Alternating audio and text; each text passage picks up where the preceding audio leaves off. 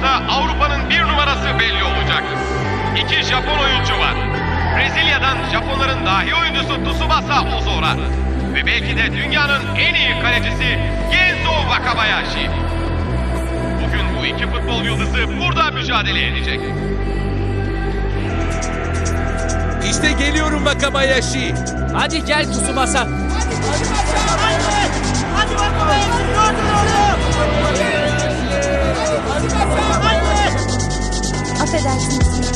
Affedersiniz.